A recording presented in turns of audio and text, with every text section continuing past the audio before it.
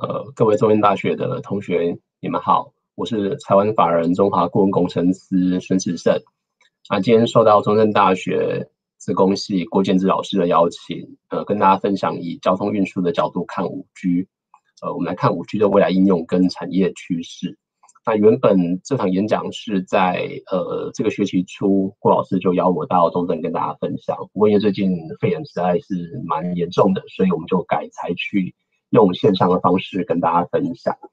好，好，那这是我今天的 agenda。我今天会先跟大家提到行动通讯的发展简史跟五 G 的特性。那之后会跟大家用交通运输的产业来看五 G 的技术它怎么达成的。那接着会跟大家分享五 G 它的发展现况跟一些产业的应用实例，还有未来的发展跟创新。好，那我是孙世胜，大家可以叫我老孙。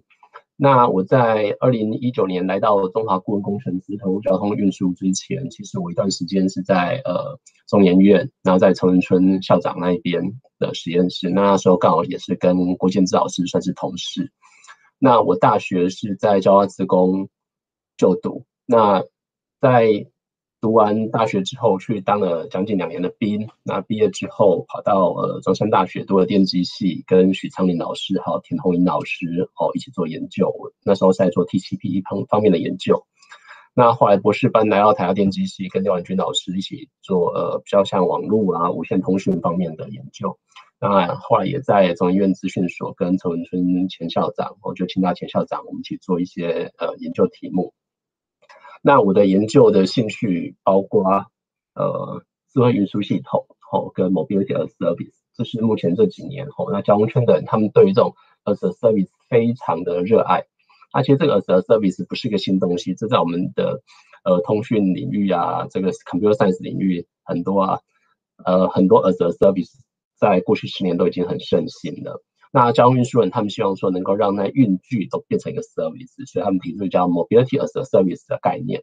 那我这几年做一些 blockchain 的题目跟研究，还有一些实作。那在我过去的呃专长上，主要是着重在无线网络，包括五 G 的呃通讯网络、一直网络，还有 traffic uploading，还有一些 wireless communication system，还有 protocol design。那我也曾经做过呃绿绿能网络跟一些高速 TCP 的题目。那值得一提的是，我对 Linux 的 system 的管理跟 tuning 做的有一些经验。那这个是可能大家不晓得，大家都还蛮年轻。是二零零几年那时候 P2P P2P 很盛行。那我曾经在呃交大那时候有一些我的 server，那时候 IP 也没有叫一四零点一一三点一四零点一一三。大家都知道嘛，一一二就是台大，一一三就是交大。那我那时候拿到一四零点一一三点一四零点一一三这个 IP。哦，那时候我们的 server 其实也蛮不错的，只能全世界几台比较顶尖的 server 里面，呃，这一台是交大，我们把它命名叫 c r a c k e t 的 server。那第二台我的，那其实后面这几台机器都有一些我的呃改的 code 在里面，所以我们在全世界的几台 server 上都让它 tune 的有蛮不错的效能。哦，那再过来的话，我自己对马拉松还蛮有研究的，我跑过二十五场全马，哦，那我最好的成绩是三小时十六分。那我也在台北创立叫三猫路跑团，哈，三猫路跑团。好，那嗯，其实大家可以看到，这是我们现在的跑团。那最近因为肺炎的关系，大家没有办法团练的。哦，那我在后面，这是我们第五年的呃一个算团庆吧。哦，那其实这几年我们在台北，我们训练了不少的市民跑者，拿到很好的成绩。哦，那我也是带领市长跑者去跑步，这个叫红国展。好，那这个。蛮值得一提的，就是说，呃，对于全马来讲，能够跑四个小时是一个很了不起的成绩。那他是一个视障选手，我带他在四个小时的时间内，三小时五十九分四十四秒完成了这场赛事，是二零一九年扎达马拉松。哦，那这是我们当初帮他排的一些课表，你会看到这些红红绿绿、黄黄蓝蓝，等于是你要帮一个视障选手做这样子的呃课程排练，你其实要花很多心血，要很多人一起投入的。那他其实，在二零一九年也获得代表去参加波士顿马拉松，是呃中华民国有史以来第一位去参加波士顿马拉松的视障选手。哦，那那一天其实很感动，就是披着刚后面那片国旗，哦，经过波马的终点。好，那只是跟大家分享一下，其实我们做事就要很有很有热忱，然后很有坚持性。哦，在五度的天气之下可以爬到终点。那另外我也对威士忌还蛮有研究的，我是台湾大英麦芽威士忌品酒研究社的社员。好，简介过自己之后呢，跟大家分享一下，呃，中华顾问工程师。那中华顾问其实大家可能比较不熟悉，因为大家不是土木背景。但是如果大家知道说，当年在十大建设时期，包括经济部有中心跟中点，那交通部就有中华顾问。我们那时候是为了要让这些国外的技术可以在台湾落地生根。因此，就透过国外的顾问公司把技术引进台湾，然后包括当初的呃高雄港啊、桃园国际机场啊，然后中山高速公路等等的这些十大建设、十二大建设、十四大建设，后续都有很多中华顾问我们的呃神拜他们的一些呃努力在里面。那这几年我们因应法规的规定，那我们就把我们。做比较大大型工程顾问的部分，把它切出一遍，我们子公司全的子公司叫台湾市 C 这间公司。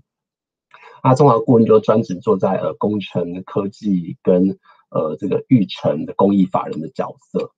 哦，那我们有两个研究中心，叫设施中心跟智慧艺术技术中心。那我们目的就是希望能够减少伤亡人数，然后可以增加我们的这些交通设施的延寿。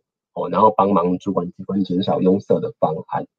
啊，这是跟大家介绍一下我自己的呃公司。那大家很好奇，为什么我要从呃 computer science 跟 W E 的背景跳到呃这个顾问顾问业界、交通顾问业界？其实交通业它有很多是值得我们去投入，然后用好的自通讯的技术去协助它提高比较好的效率的。那这是我自己觉得对自己的使命。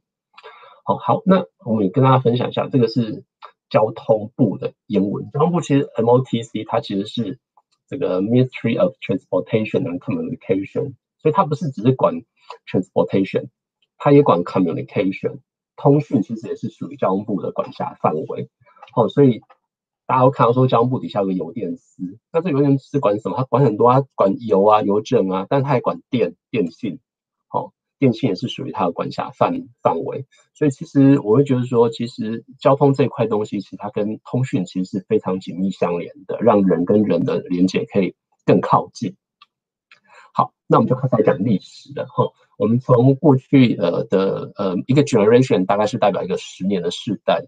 那一 G 当初在一九八几年的时候叫 ms 它是一个呃类比，然后 FDMA，然后它只能通 voice，只能通通声音。那在大家看，这是当年的一 G 的时代，M 时代的手机就叫黑金刚，很大，一只像水壶一样，拿拿在拿在耳边就觉得哇，很很庞大，拿来砸人应该会很痛。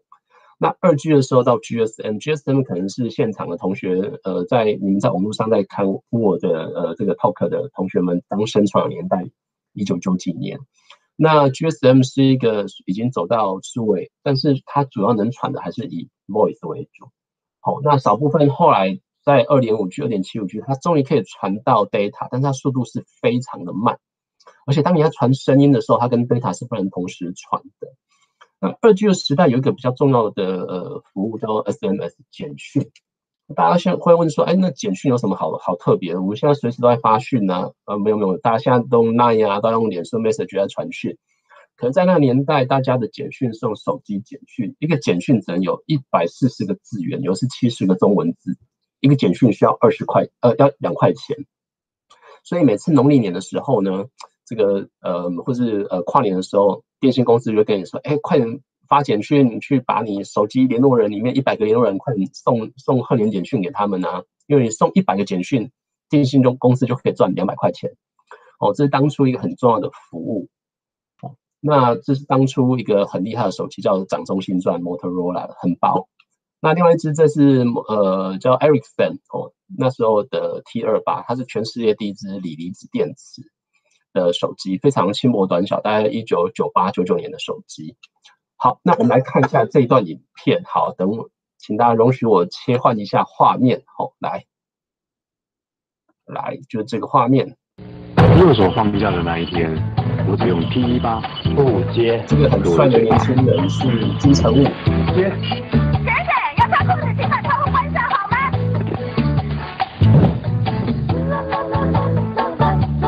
拉面。这个故事在讲说金城武他手断掉。然后他透过这只可以声控的手机去电话，然后拉面接听话的一信 T 一八全声控会来电震动。OK，好，所以这些手机后来被叫做叫拉面机。OK，好，那我们来看一下拉面机的故事，我们讲完了。好，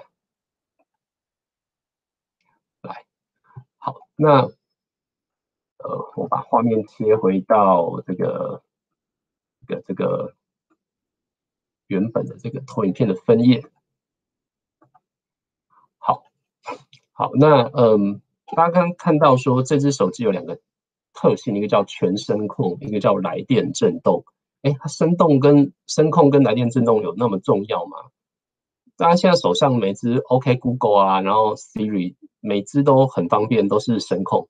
可当年的声控是这样，当年声控是说啊，假设说你拉面店，你就要在手机上面输入“拉面店”三个字，然后等下录音叫拉面店，然后电话号码对应到零二一二三四五六七。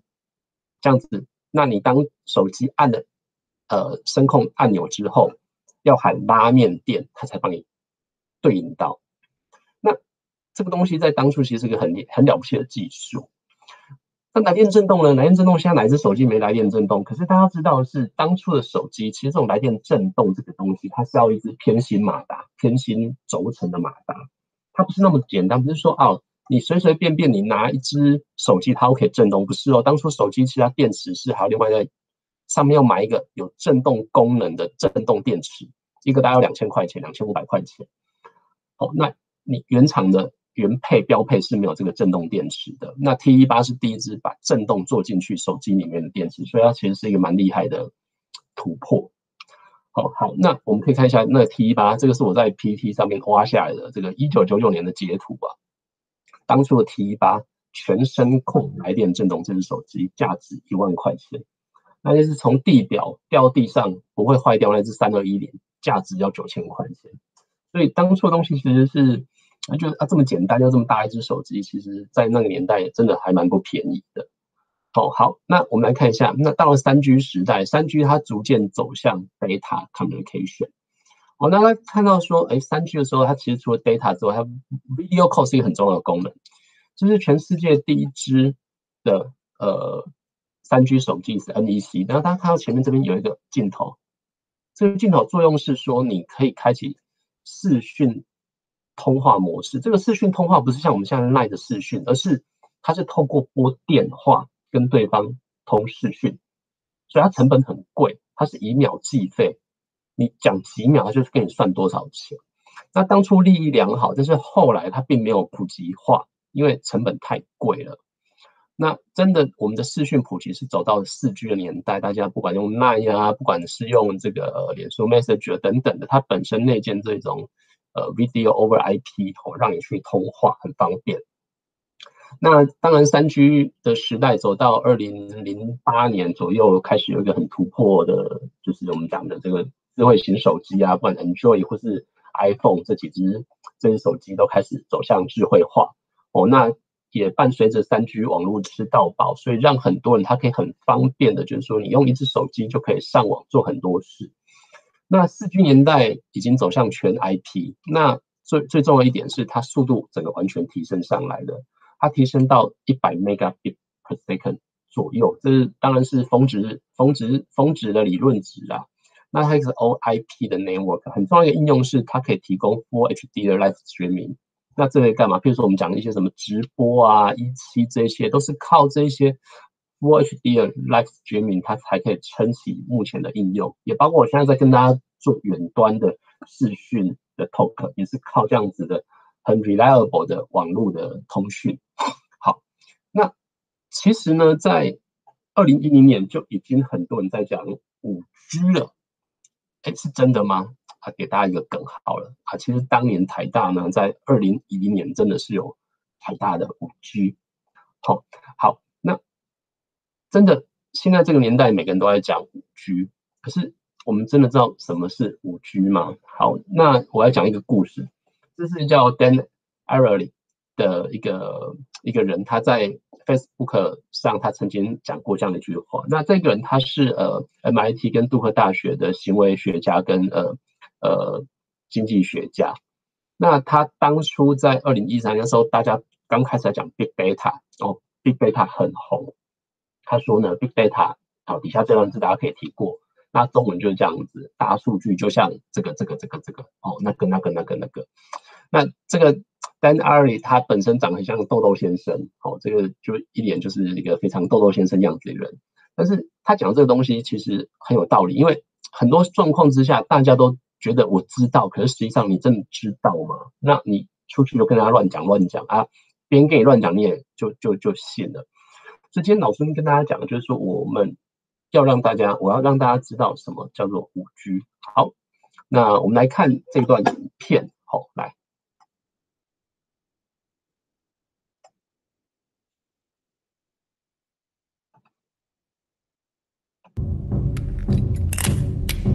咦，來老槍喎！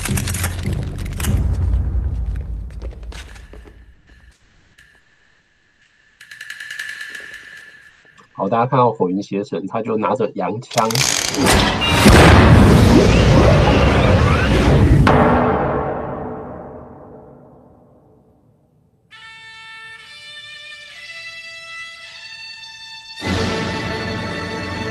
天下武功，無堅不破，唯快不破。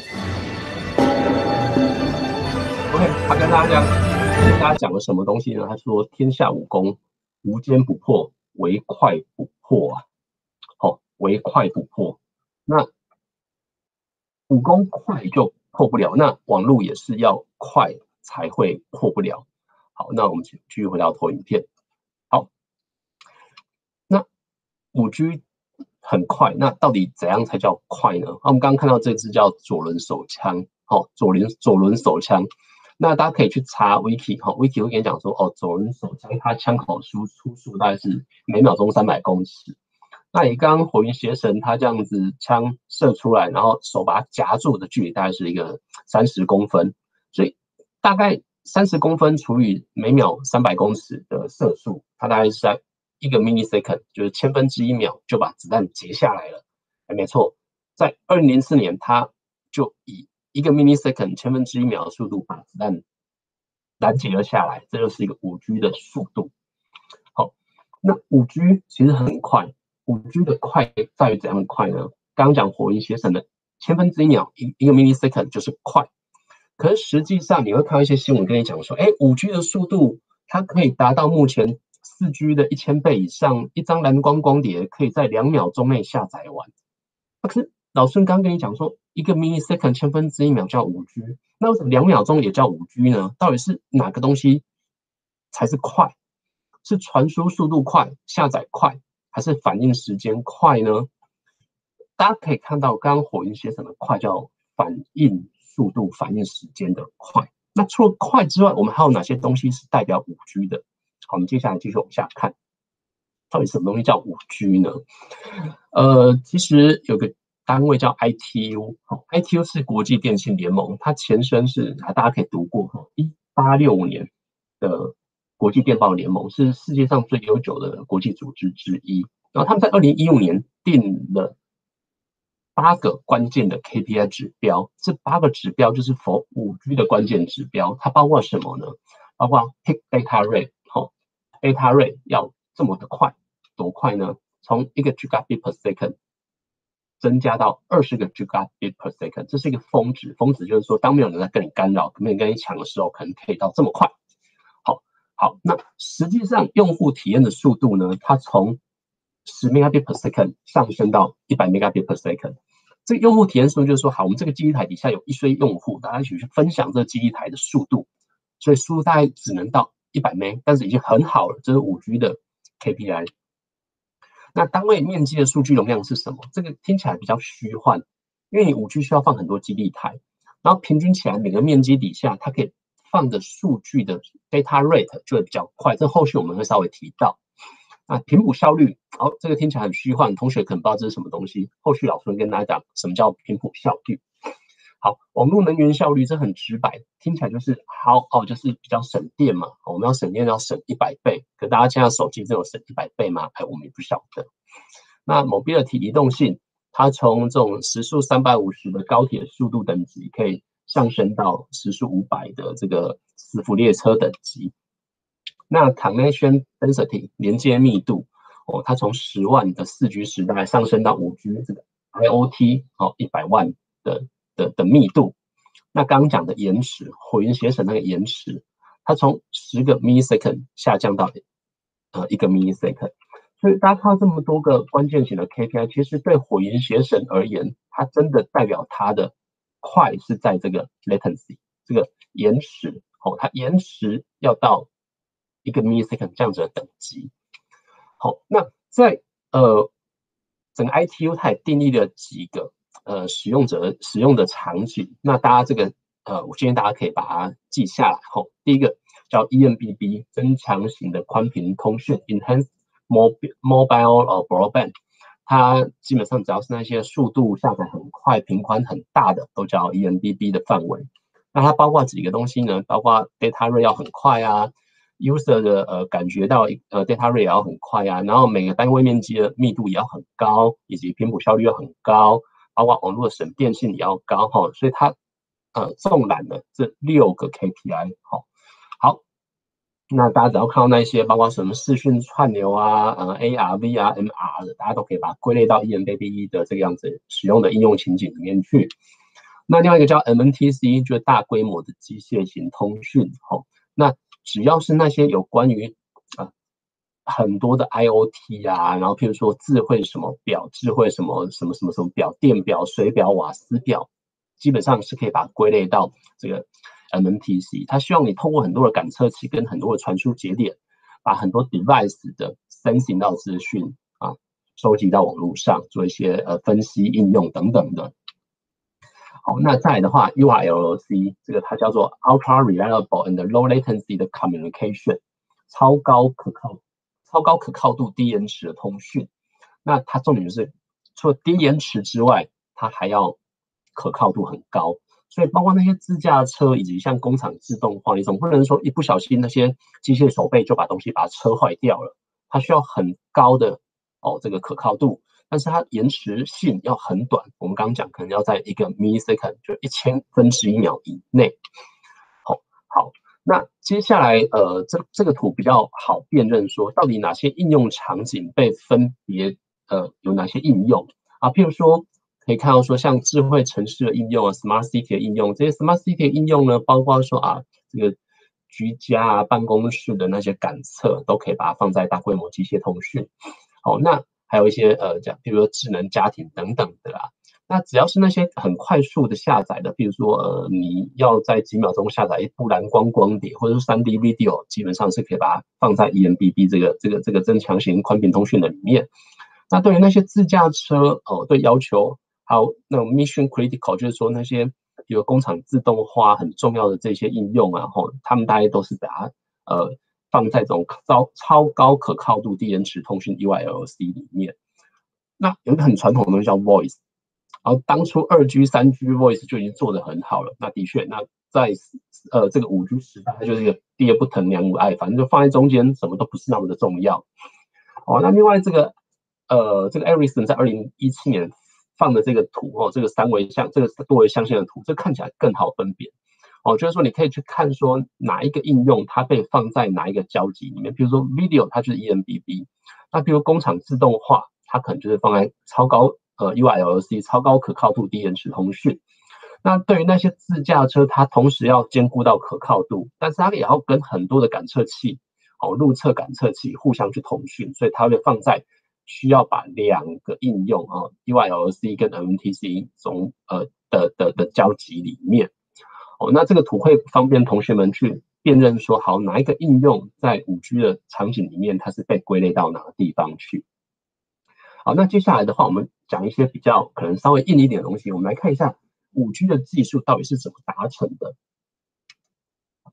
好，那这边跟大家讲到一些五 G 的关键的技术，包括一些新的 radio，包括一些新的调变技术，包括我们的大规模的天线阵列。小基地台，还有一些 comp，还有低延迟 MEC 等等的，那还有很多。那老孙今天跟大家列举几个关键型的技术。那我们先想一下，呃，一件事情好了，在春节疏运的时候，我们要怎么样更快的把一百万个人从台北分享哦，再运到高雄、台南，好，台南、高雄呢？那当然，我们的想法很直觉啊，就是你要么你就把你的开车的车速把它增快，或是你可以让你的车道变得很多，或是你强制规定说你一台车可以多坐，不是只是坐一个人，你要坐两个人、四个人，甚至七个人、九人坐这样子。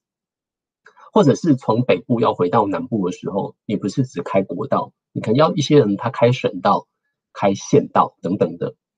那我们也要来想一下，说那这个快到底是一个人的快，还是一群人的快呢？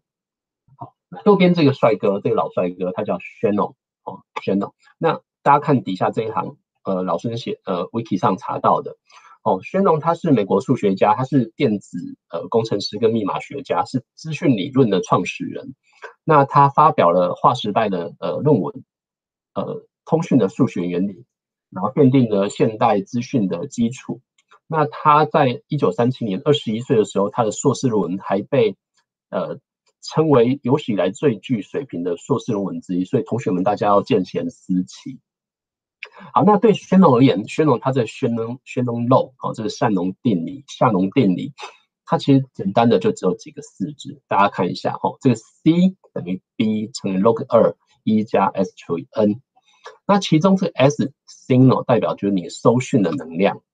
讯号的能量，我们看一直旁边这个图来看，一个基地台送给我手机，吼，我的基地台送给我这个讯号就叫 S，就是 signal 强度。那那一些从其他基地台啊，或是背景热噪音过来的那一些，都叫 interference。哦，那这些干扰加杂讯，我们一通通都把它叫 noise。好，那讯动漏很简单，就跟你讲说，你把一加上你的收讯的强度除以你的。干扰杂讯除起来除，然后去取 log 二，然后乘以你的频宽，就会变成你的通道的容量。那看起来这个式子好像没有什么太特别的，但是它就奠定了我们这呃七八十年来的资讯理论的基础。那大家可以看一下哦，你要把这个通道容量提升，你要怎么去提升呢？几个方式嘛，一个你要嘛，你可以把 B 把频宽增加。把频宽变得很宽，或是你把你的这个 signal 变得很好、很强，或是你把这个 noise 把这个杂讯干扰把它变低，你大概就是靠这三项 B、S 跟 N 三项，你就可以知道说你整个 C 是被提高或是降低的了。好，所以这是一个理论上限，但是理论上限就代表说我们有很多可以突破的地方。好，那我们先一个一个来看。好，那我们讲 New Radio 频谱，大家应该这几年都很常听到这个毫米波啊，millimeter wave。它什么是毫米波啊？其实我们在过去哦，二 G、三 G、四 G 年代，我们的频谱大概都是留在六个 G 刚赫兹底下的这一段。哦，这是一个中频或是低频的频段的频谱。哦，那以我们台湾为例，譬如说台湾大哥大概七百 MHz，它有一些频频频谱，它一千八有一些频谱。哦，那呃，对于那些越低频谱的频段而言，它可以用到的频谱的宽度就比较少。哦，在这种六 GHz 以下的，大概你能用大概就是一个几百 MHz 的频宽，你只能用到几百而已。哦，了不起就四五百，total 加起来。那问题是说。当你是在这种高频段的地方，好，我们看到这个地方，这个叫做 millimeter wave。那一个 millimeter wave 基本上就是一个大概频谱哦，频频波长它大概在一公分以下，就是三四个 gigahertz 的地方。那我们通常从二十四、二十八都把它叫做 millimeter wave 了。那在这个地方呢，它每一段的频谱的宽度，它可以高达一个 gigahertz，甚至到三个 gigahertz。那大家知道一个 giga 就是一千个 mega 嘛？那三个 Giga 就是三千个 Mega，所以在毫米波这个波段呢，它整个可以用到的频段是远远的大于我们这种低频大大的十倍左右。哦，大家可以看到，可以从一千到七千个 Mega 赫兹之多。那大家可以等一下想象为说啊，我们在低频的地方只有一个几百的 B。可是我们在高频谱的地方，millimeter wave 地方，它可以到达数以千计的 B，所以以这个方式去想就知道，哦，为什么用毫米波？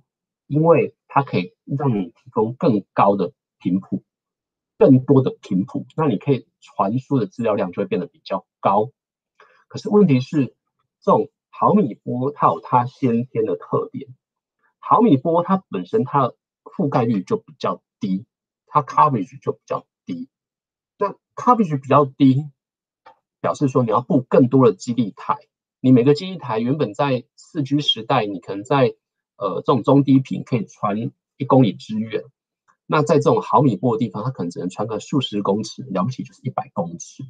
但是它不不一定是代表是个坏处，它传输距离短，表示说你可以布更多，然后每个基地台可以服务更多的人，哦，这是一个好处。我们后面会讲到。这首先是第一个叫毫米波。好，那我们后来有一些新的技术叫 carrier aggregation。Carrier aggregation 就是它把很多载波整个把它绑起来。这是什么意思呢？我们在四 G 的时时代呢，你一个电电信商在一个频谱上面大概只能用到二十个 megahertz，就是这个 B 只能用到二十。可是，我举例以呃中华电信而言，中华电信它可能它在呃九百 megahertz 它有个二十。哦，然后它在呃一千八，它有个二十，它在两千六有个二十，那它各自标到三个二十的频谱，那使用者一次却只能用其中一个地方去使用，你就觉得哇，好浪费哦。那这 carry aggregation 这个 C A 这个技术好处就是说，它可以让使用者同时在不同的频段上都拿来传输，也就是等效可以想说啊，我同时可以在很多个车道上去开。去使用，好，所以我们在七百、九百、一千八、两千六，我们同时在很多段路上都可以让我的使用者去传输你的资料，所以这时候等向就很多倍的的的的路宽路幅可以让你使用，那你这个下载速度、上传速度就会变快，这就 carrier aggregation。哦，那这当初中华电信他就讲啊，他们目前呢，他们可以在用到五个 CA，就是他们可以在五个频段上都用到 carrier aggregation。哦，那它有当初有有一个呃广告词，就是说啊，它可以把这个拥有的九百、一千八、两千六等五个频段 total 七十个 megahertz 整在一起，然后可以达到理论下载九百 megahertz，比传统的四 G 的一百五还要来得快。那这个技术从四 G 开始有，到了五 G 它。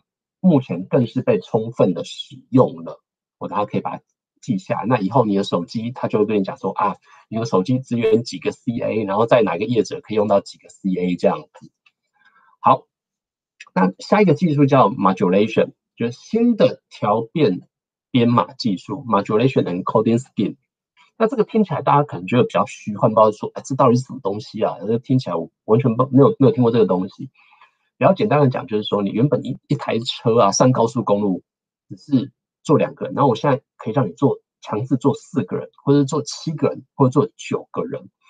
我们看这个 channel node 右边这个东西，这一坨东西它代表就整个呃理论上限嘛，通道理论上限。那其实呢，我们每一次传输，每个赫兹，哦，每个赫兹，那每个秒，每秒每赫兹。大概可以送几个讯号在里面呢？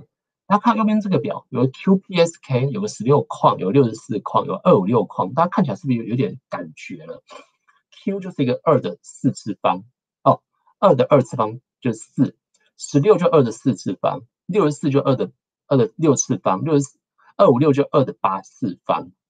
好，那对于每个框不同的呃 modulation 而言。它理论上限就是二的几次方，比如十六框，它最理想，它可以一一次传输，它可以送四个讯号给你。哦，我们简单讲是这个样子，实际上会更复杂哈。好，那六十四框就二的六次方，那实际上就它一次可以哦送六个讯号给你这样子。那不过实际上我们的技术上只能达到大概到四左右。那二五六框就二的八次方。二的八次方哈，它这边目前的技术上可以做到七点多哦，所以一次传输可以送大概七到八个讯号 symbol 给你这样子。好，那讲这个东西要做什么呢？讲这个东西就是说，好啊，sorry，这些 modulation 的提升哈，从这个二的二次方到二的四次方到二的六次方到二的八次方，每一次提升都是要花掉很多通讯学家的肝跟脑。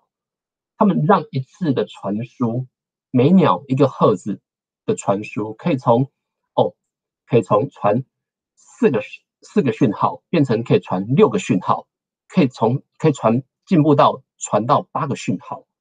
哦，这是一个非常了不起也很杰出的成就。那目前在呃四 G 的时代，它可以传到二五六矿。那在五 G 的时代，它预计会提升到五一二矿，甚至是一零二四矿。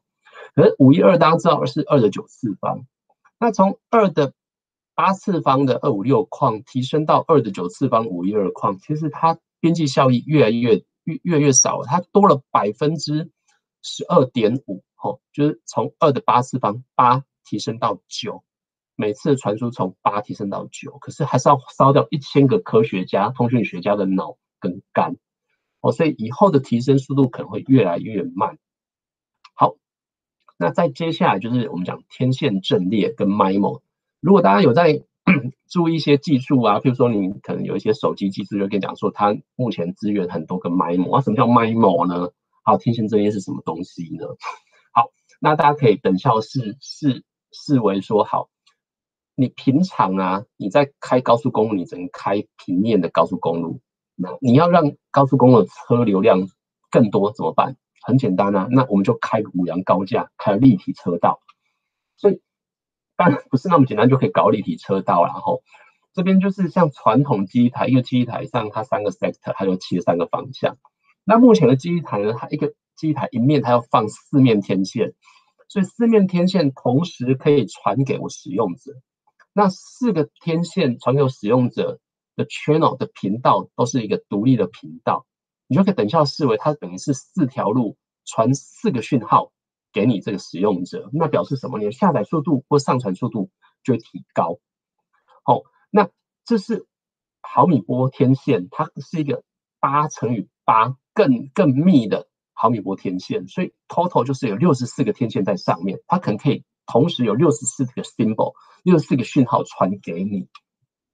好，那这是一个我们现在讲的叫 massive 大规模的。呃，天线阵列，对我们手机上，它这边是一个四乘呃四乘是十六嘛，啊八个手机上 total 可以勒一百二十八个天线，那手机上勒这么多天线啊，跟机一台勒了六十四个天线，这个它每一个天线跟天线之间都是一个独立的哦的频道，所以它可以提供更高的下载速度啊，彼此之间也不互相干扰。好，那另外一个叫冰封名，叫波速成型。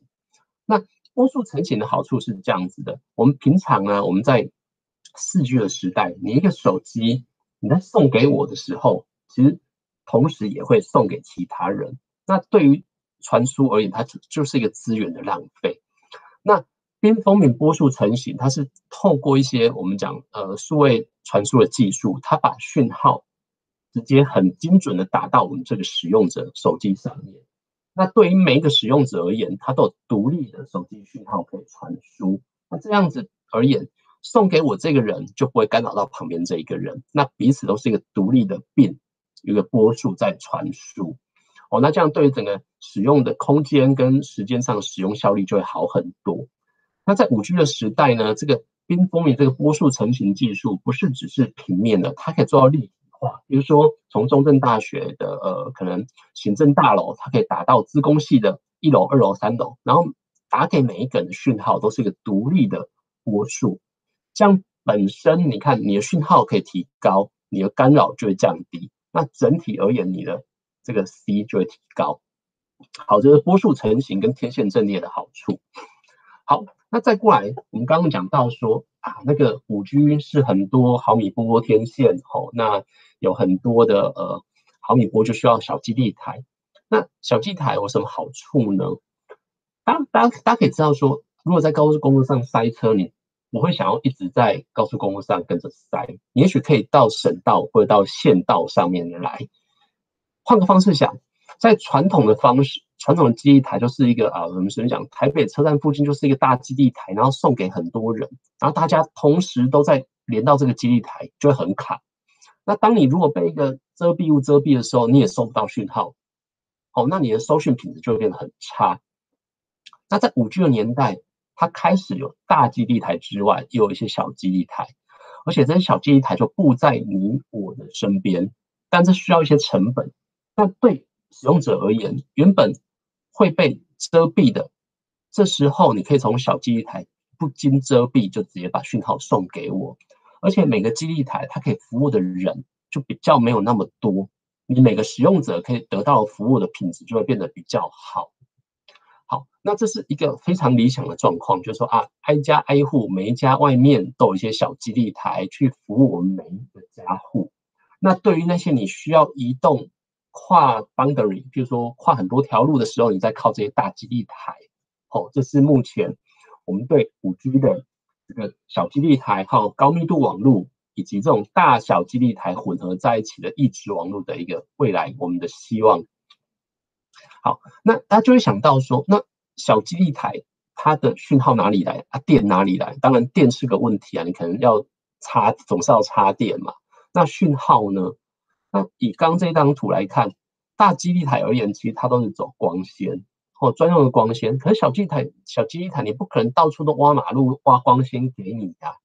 所以，以目前的想想法而言，你大基地台跟小基地台之间，其实是可以透过我们的毫米波，彼此把大基地台从光纤来的讯号送给小基地台，而小基地台再把讯号送给使用者，或这种无线网络之间的互传。它可以让你的基地台可以布得很密，然后同时也不需要大规模的去挖马路啊、布光纤等等的，这是一个未来的大基地台、小基地台的这种异质网络以及高密度网络的一个应用场景。那这时候就我们想就讲到一个 issue 叫三共，后面会跟大家提到，这这这一两年台湾还蛮流行的一个词叫三共：公用频谱、公网络跟共建网络。那下一个叫做 Dual Connectivity 跟呃 Comp，那这个 idea 是这样子，就是说，好，我们平常我们的一个手机啊，只接受一个基地台的服务。那在五 G 的时代，一个手机可以同时接受两个基地台给我的讯号。哎，怎么有这么美好的事情？有五 G 做得到，因为这些基地台本身或是天线本身，它们本身的同步做得很好。那你一个使用者而言，你可以同时 coordinate 被两个基地台或是两个天线之间把要送给你的资讯 combine 在一起送给我。那这是需要很高的技术的成分的，因为你这资料如何很精准的从两个基地台送给你呢？哦，这是一个这几年大家在努力的方向。那在过去。没有办法，过去可能只能做 MIMO，MIMO 是从一个天线的好一个基地台的好几个天线送给一只手机。那现在可以跨基地台，透过不同的天线把讯号送给你。跨基地台代表就是说，你讯号的同步要做得很好，资料的同步要做得很好。哦，这是它有技术门槛在的。哦，那目前的话，呃，中华电信它已经可以做到这种五 G 跟四 G 的整个 com 的结合。哦，这是一个还蛮好的技术，所以有中华电信的使用者，大家可以试试看。哦，这个叫五 G 的 eNDC。好，那除了这些提高你下载跟上传速度之外，我们讲到就是这个火云邪神嘛，它希望它的 delay 要很短。那 delay 很短，到底有哪些应用是 delay 很短的呢？包括工厂自动化啊，包括这种机械手背啊。远端操控啊，自驾车等等，这些都需要非常低的延迟。那怎样才可以做到低延迟呢？我们刚刚讲到都是高下载速率，那像我们讲低延迟，那其实，在四 G LTE 的时代里面，你每一个四 G 的手机哦的基地台，它每一个 millisecond 它会去做一次的排程。那在五 G 的时代呢？它把它切得更细了，它每七分之一的 millisecond，它就会做一次排程。那表示什么？我们在越短的时间内去做排程，你使用者越有可能很快的就被服务到。你能够越快的被服务到，你这时候你就不容易产生延迟。那你会问我说：“哎，那为什么四 G 的时代不把整个排程的时间把它缩短？”其实它有它历史脉络，因为当初的技术没办法做到。就是这个样子，哦，那五 G 可以做到，因为五 G 的时间精准度做的比较细，所以它可以让你在七分之一个秒之内 m i n i s e c o n d 七分之一个一千秒之内就做一次的排程，然后可以让你更快的让这些很 critical、很需要快速反应的这些服务马上就被排得到。但是你还是会遇到延迟。好，那我们这时候要怎么办呢？好。有一个技术可能是请大家有听到，叫 Mobile Edge Computing（MEC），行动边缘边缘运算。那以这张图，这是台大的台大的图哈，台大就就是一个方方圆圆的一个地的地方。那我公司其实就在台大后门这个这个这个这个地方，我们就就要离台大很近。好，那大家看一下哦，是不是我从我公司要获取的服务，每次都要从 Google 过来？还是有没有办法从台大离我最近的这个台大行政大楼上面，或小木屋松敏松敏店上面这个基地台就把资料送给我呢？Mobile Edge Computing 讲的就是这样的概念。好，如果啊，我们这样算一下，简单的算一下，我公司如果每次要资料都是从加州哈这个 Google 的机房送资料给我，好，那资料。呃，光速啊，在光纤里面的速度是每秒钟在二十万公里。那台湾到加州一去一回是二两万公里，你再怎么快都需要零点一秒才能让资料从 Google 在加州机房把资料送给我。好，就算我可以把资料从这个东京的 Google 机房送给我，它也需要一个二十 millisecond，也就是要百分之二秒的时间才能送到。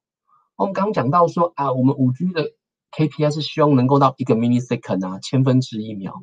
那我们就想一想，如果说可以把资料就放在台大的行政大楼的机台上面，那直接把资料送到我公司，这距离了不起也才一公里呀。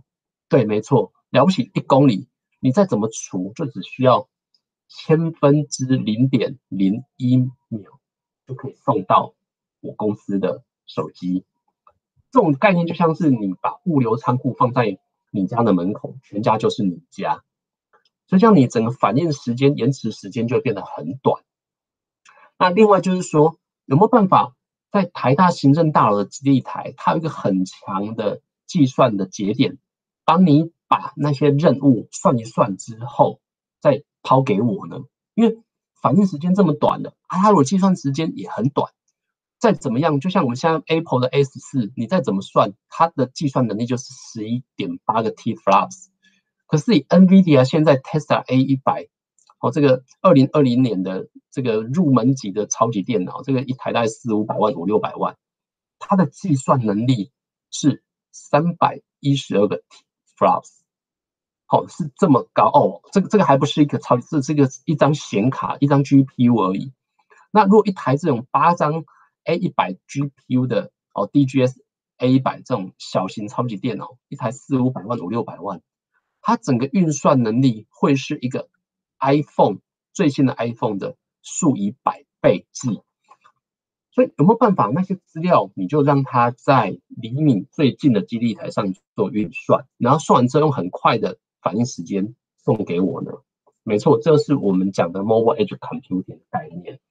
对于那些原本要送很远过来的资料，其实，在离我最近的那些 computing node，也就是你的机台附近，或者说整个大安区或整个民雄区，就是有一个 mobile edge 的的 server 机台上面，然后把那些使用者需要做的一些服务在上面把它送完。这时候呢，距离更短，效能更高，然后呢，你还可以有一些局部的资料的交换。可以让你提供更好的使用者的感受效率，这样子。好，这是 Mobile Edge Computing 所带来的。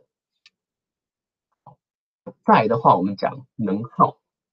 能耗到底有什么重要的呢？对于一般人可能没有那么的明显差异，因为你随时可能都还在会会充电。可是对于那些 IOT 的 device 而言，它不希望你每几天或每几个月就要重新换电池。好，那对过去我们的呃，在四 G 时代的那些 IOT 的 device，哈，可能那时候有呃 NB-IOT 等等的这些 device，在四 G 时代，它其实它整个每一次大概每二点五六秒，你的 device 就需要醒过来听一下，说，哎，有没有机台有没有送东西给我？那每二点五六秒醒过来一次，你就觉得其实是蛮耗电的啦。好，你每二点五六秒就要听一次，听一次，听一次。那在五 G 时代，它可以延伸到四十分钟，你才去听一次基地台有没有 page page 有没有送资料给我。好，那还可以 garant 说我东西就不会掉包。那二点五六秒相对于四十分钟，其实对我这个 IOT 的 device 而言，就是一个很高程度的省电。那以这个状况而言，你的 device 就可以延迟哦，可能比较理想状况，可能可以十年都不用换电池。那 AKB 四十八的粉丝就会跟你讲，哇，他很兴奋，他很兴奋，因为你这么久才需要换一次电池，你就很开心。好，那除了刚刚老孙跟大家分享了几个技术之外，我们刚刚讲的是属于左边这些技术，包括 current gation 新的呃毫米波，然后包括新的 Modulation，包括呃这个天线阵列跟 Beamforming，还有这个呃高密度的基地台等等的 Comp 等等的。那实际上还有很多新技术，我们刚没有讲，包括 Software Software Defined Network，还有一些网络虚拟化 Network Slicing。然后也包括这种 Cloud Radio SS Network，哦，等于是说你到时候你的呃手机的呃基地台的天线啊，到时候都是那些机频都是已经用呃这个软体去去去服务它，去去去模拟的，不用花很高的成本去做这种软体的基频。哦，然后还有一些新的 Modulation 跟 Coding Scheme，还有像 Flow Duplex，它可以让你的手机同时收跟收，是同时哦。不是在时间上去切的很细的同时，是真的同时可以收跟收。那再来包括一些认知型的网络啊，认知型的这个 radio，然后以及最最夯的这种哦，这个我们讲的 AI 呀，machine learning 啊，这个这些其实都需要很好的数学背景，所以请大家一定要把数学学好。还有更多技术，它都是把五 G 的技术所迭代起来的。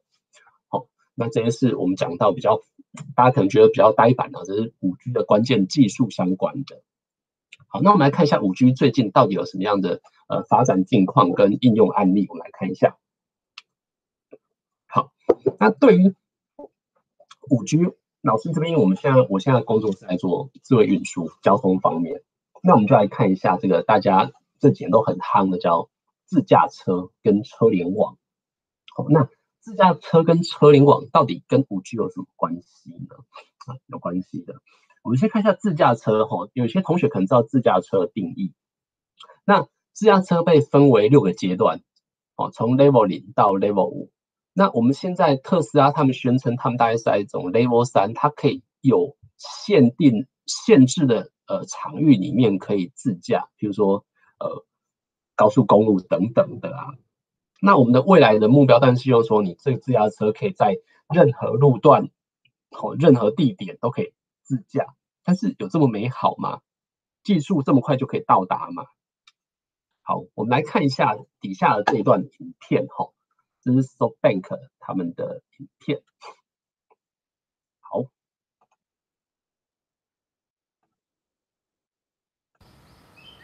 これからお見せするのは。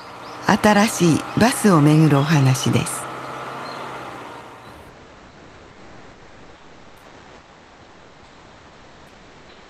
这个婆婆啊，她要送便当去给她哥哥。那日本大家知道是一个老龄化的社会， 所以很多天香都没有都没有车服务，都没有人去。二零一七年，金老公开始在他们就提出这个意见，他们说这个在未来。这个老人家可以坐着自驾车，然后坐在田里去移动。我们从刚看到现在，这个老婆婆做了几件事。这老婆婆做了几件事呢？第一个，他刚按了那个一个按钮，然后车子就停停过来，这个这个停车停车牌这个地方。然后接着呢，车子就在老婆婆面前把车子停下来了。然后开了门，让老婆婆上车。然后一上了车之后，老婆婆她就刷了她的卡，然后就上了车，就坐下。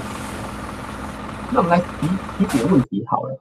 自驾车怎么知道说老婆婆要要要坐车呢？因为按了那个钮，那按了那个钮之后，讯息怎么抛到后面，让自家车来停在这个位置？听得这么精准，而且知道门要打开，让老婆婆上车。然后老婆婆上车之后，为什么她刷了卡之后，车子就准备要动了？那如果老婆婆不刷卡呢？那车子就一路一直都停在那个地方。那我们就想一想，我们现在在研发的都是叫做自驾车，可自驾车真的只是这辆车让它自己会跑而已吗？还是说这些车跟人的整合要怎么整合呢？好，那我们影片快转到后面的一段这个地方，这个这个地方，我们来看一下哦啊。着席を確認しました。バスが発車します。好，我们来看一下后面这边，这个车继续开啊，继续开，开到偏乡，老婆婆要送天档给他哥哥。 那前面突然发生那个有趣的事，这个事情，看一下哦。前方に落下物があり、このバスは緊急停止します。车子跟他讲说啊，有紧急事件发生了，就是因为前面有一个货车掉了东西下来。ご乗車の皆様、ご心配おかけしました。安全の確認が取れましたので、出発します。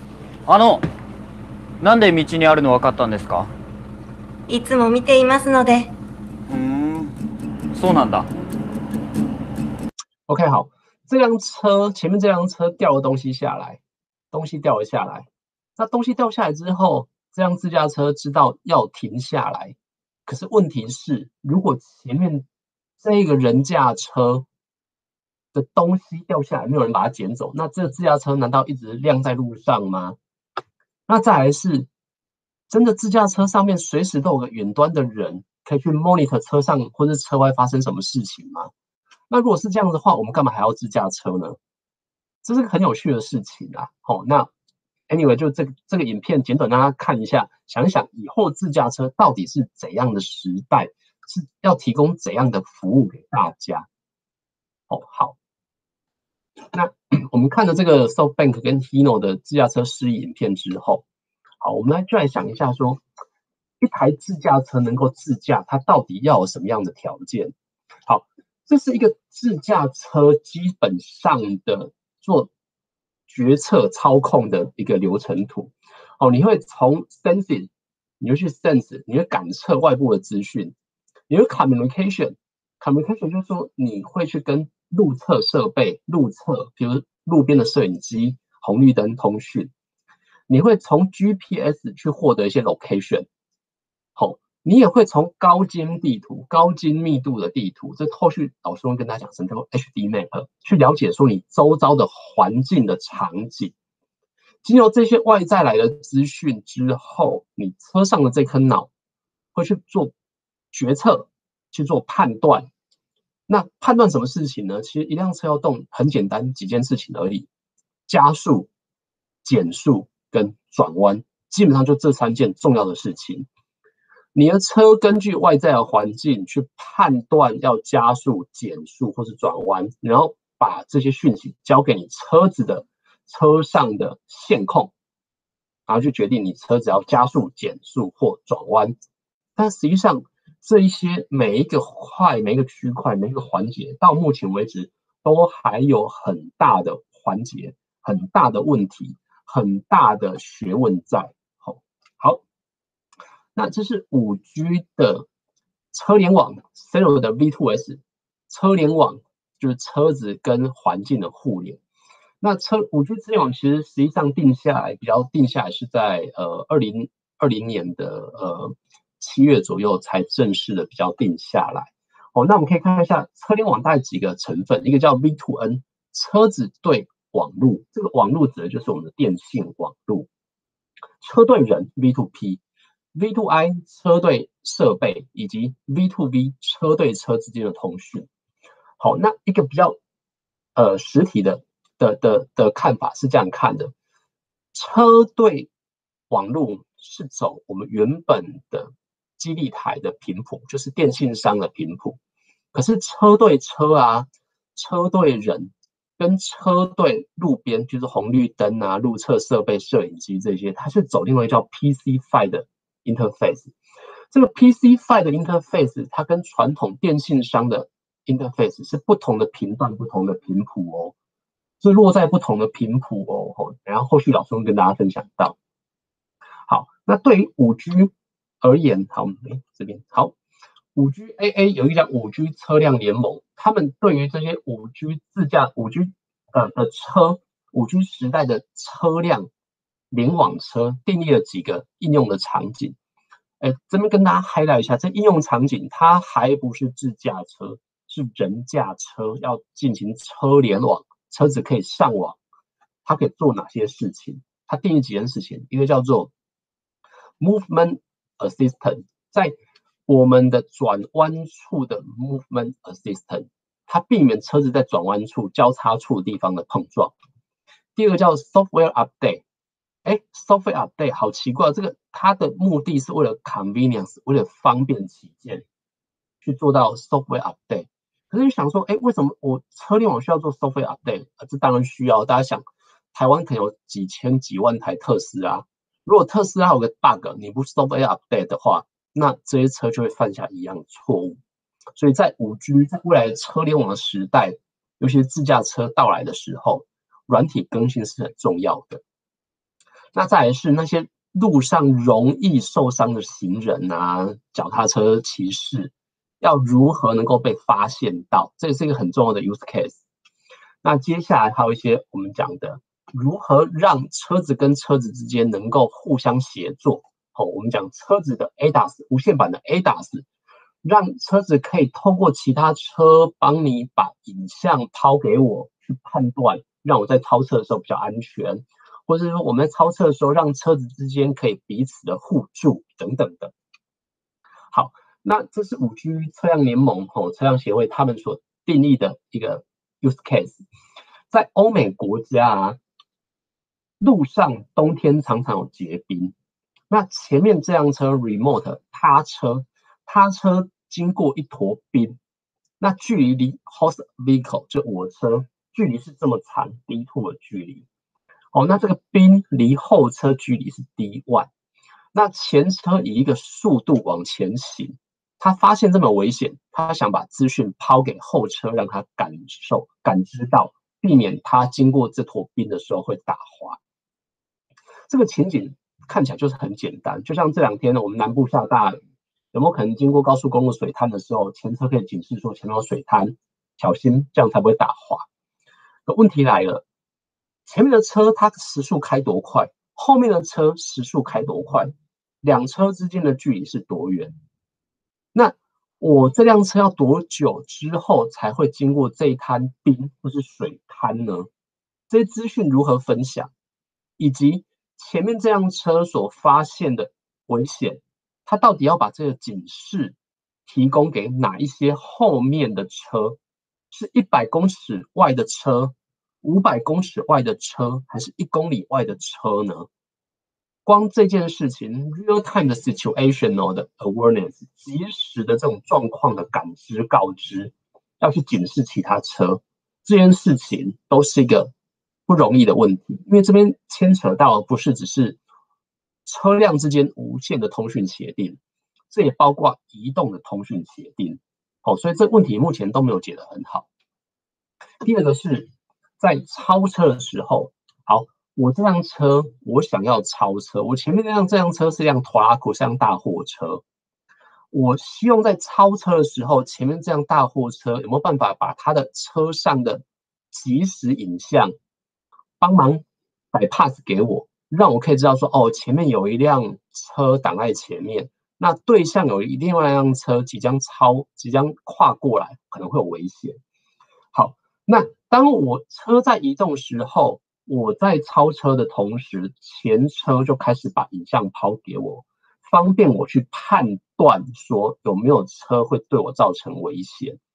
而同时，我也把我超车的讯息抛给这些他车，让他们去警示说：你们要小心，不要来撞到我。那在什么阶段，这辆前车才停止把它影像停止抛给我呢？可能要在这个地方，或者在这个地方。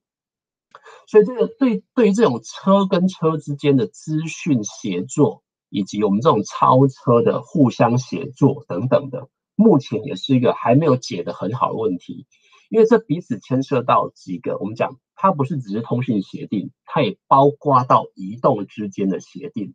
你必须知道每一辆车很精准的位置、很精准的速度，以及你到底要把资讯从谁抛给哪一些人，以及把这些警示从谁抛给哪一些车。哦，这目前大家都没有解得很好的地方。那再来一个是我们在转弯的时候，我们如何去发现行人可能会被我撞到呢？这件事情也不好解，因为我这时候。没有要透过路侧的摄影机帮我侦测行人。五 G A 的定义是对于这些行人或脚踏车而言，它只是靠这个行人或脚踏车本身的侦测装置，去让这辆车路边的车发现这边有人要通过斑马线，要对我产生警觉，要小心。所以这问题到现在为止都还没有解得很好。好，那我们接下来看一段影。片，这是 Vodafone 他们目前在解决这个问题的解法是怎么解的？好，我们来看一下。Using the latest 5G ready network technologies，德国的 Vodafone 跟马牌，Vodafone 是欧陆很大的通讯厂商，马牌是很大的轮胎跟车辆设备制造厂商。他们现在就在解决我们刚刚所讲到那几个问题：如何在超车的时候，经由前车帮我把影像抛给我。But what if you could pass with a free view? 5G will make this possible. Thanks to ultra-low latency, the live camera signal of the other vehicle can be streamed to your infotainment screen, providing you with a clear view, just as if you could see through the vehicle in front of you.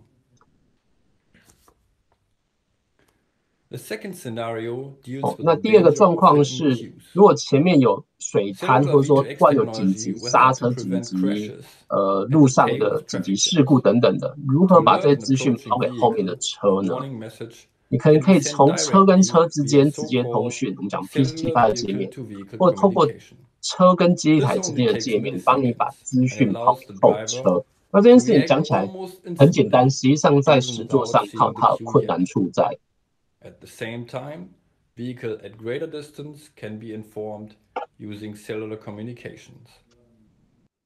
Thus, drivers can prepare early and approach. 所以后车知道前面来的警讯之后，很快我后车也可以去警讯其他的车子。好。Lastly, we'll take a look at so-called. 那在这个就是刚刚讲到，像是对于行人或是自行车骑士的警示。哇，这个那个，在德国每每年都有不少的自行车骑士会因为死角关系被撞伤或撞死。哦，那他透过这个自行车跟呃车子之间彼此分享彼此的位置的资讯，那可以避免车子去撞到自行车骑士。好，那这边影片跟大家分享到这个地方，那我们回过头来看我们的投影片。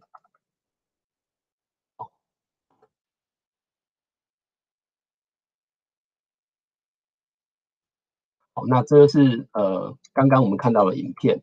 那其实老孙在二零一九年我去新加坡 ITS 世界大会，我也当场看到，我在现场看到这个马牌，去看他们 demo。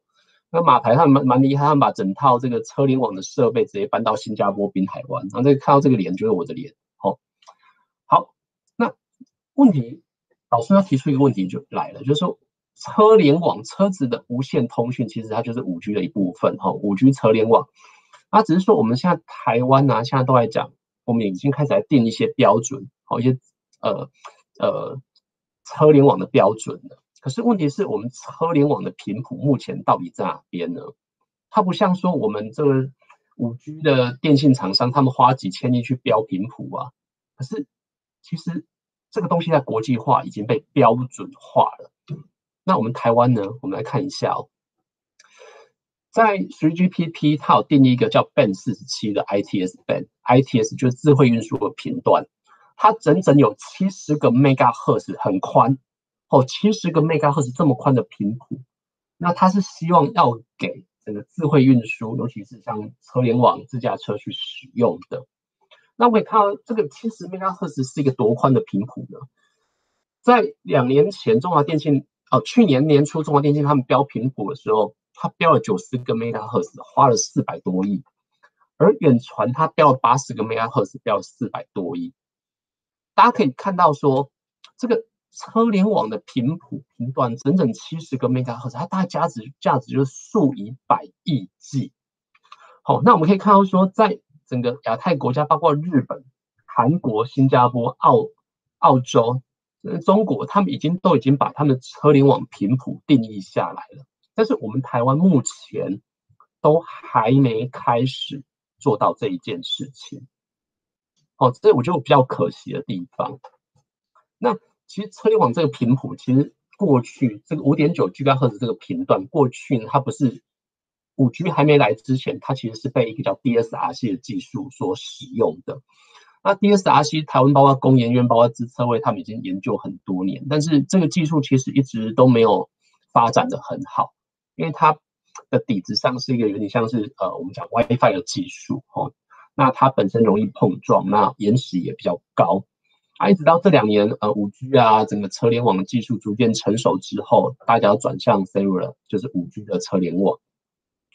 那只是说这件事情在台湾我们还没未雨绸缪，那可是国外已经走在我们前面了。那对于我们。想说我们台湾要发展自驾车，要发展很多东西，那我们的频谱没有存在的话，那该怎么办呢？那人家其实美国啊，他们在二零一九年，他们就已经把整个车联网 cellular 这一块切了二十个 megahertz 给 cellular 的 V2S，一直到去年的十一月，他已经决定说好，就决定有把三四个 megahertz 的频段。给五 G 的车联网使用，那那些旧的 DSRC 这个技术，在美国基本上已经等于是被宣布淘汰了。所以，我们台湾其实可以走快一点，哦，其实我们就直接未来是不是有机会就走五 G 的车联网，五 G 的 Serial V2S，让产业可以好的发展。那有频谱的话，那要谁去维运呢？其实美国他们也投入了很多很多的资源给这些民间。或者这一些法人，或者这些，比如说商务部底下的这种机构，去维运这样子的频谱。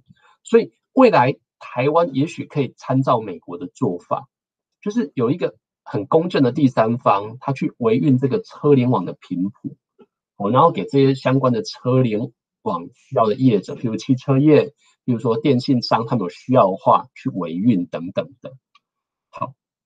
那接下来我我们要讲一个东西，这个这个比较有趣哦，这个长尾效应啊，长尾效应跟自驾车跟车联网有什么关系？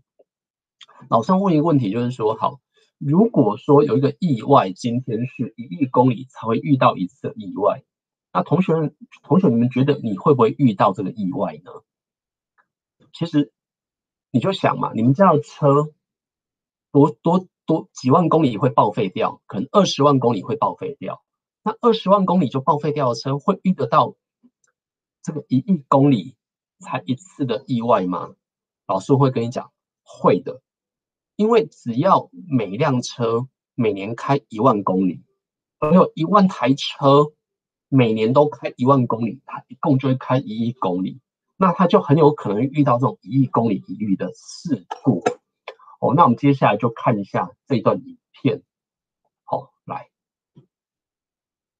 这是去年米白色大货车横倒在高速公路内侧车道，把整个车道都占住，但却有一辆白色特斯拉直直往前开，一直开，一直开，完全没看到躺在路中央的大货车，连刹车都没踩，高速撞进货车车厢，货车还因此往后弹了一下。这起离奇的车祸发生在中山高嘉义南下路段，今年六月一号，特斯拉驾驶疑似是开启自动辅助驾驶系统，不是大货车驾驶就站在路边不断挥手，没察觉车前状况，一头撞上去。但这么这个状况真的还蛮妙的，好，蛮妙的。那我们看一下为什么会有这个状况发生。那我再回去那个影片的分享。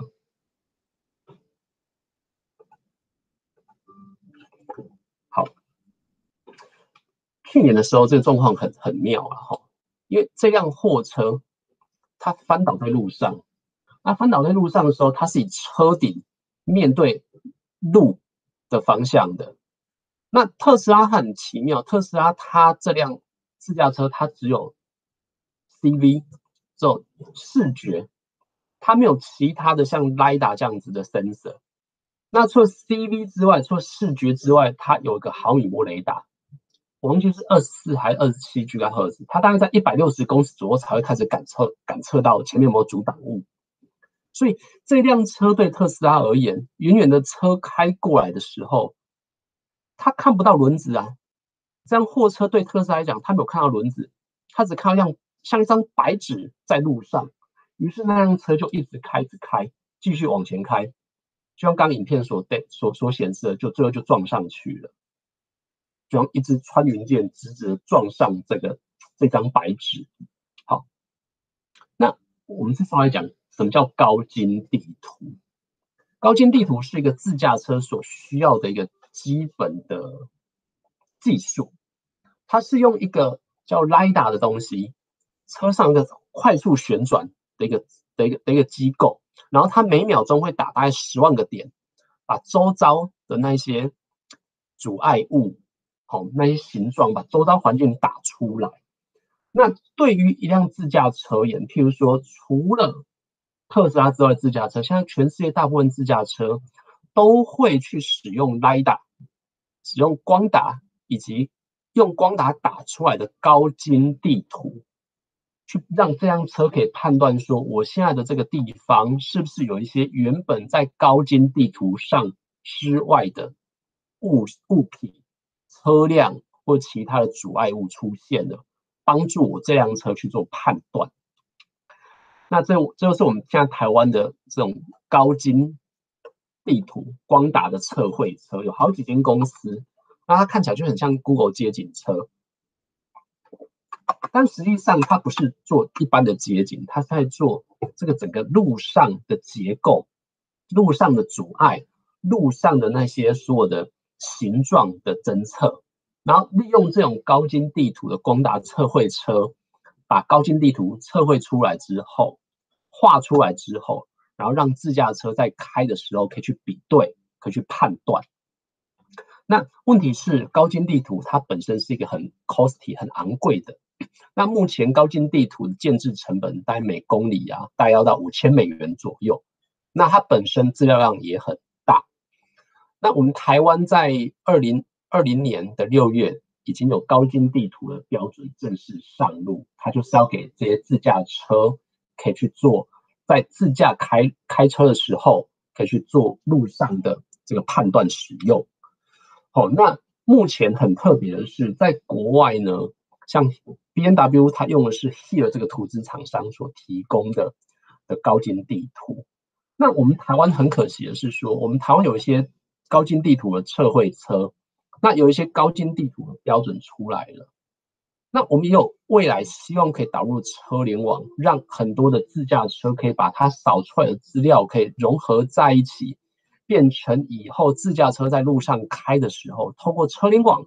透过彼此分享光打扫出来的高精地图，让自驾车开在路上可以更加的安全。这是未来的我们未来十年或是更更短的时间内，我们国内可能可以做得到的几件事情。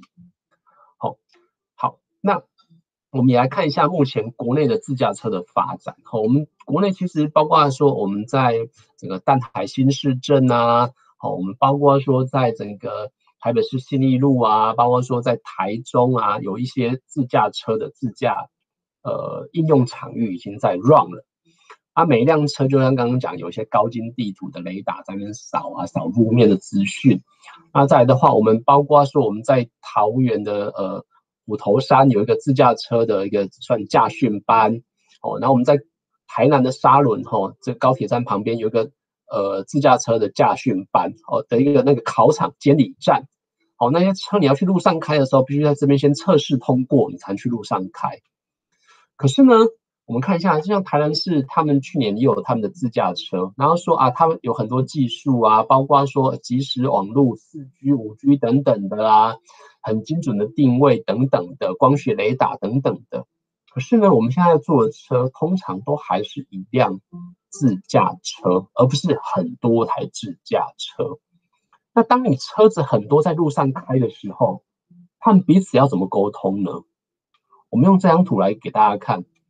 当我一辆车在路口我要左转弯的时候，如果遇到的不是只有自驾车，有自驾车有人驾车，那彼此的资讯要怎么样去沟通？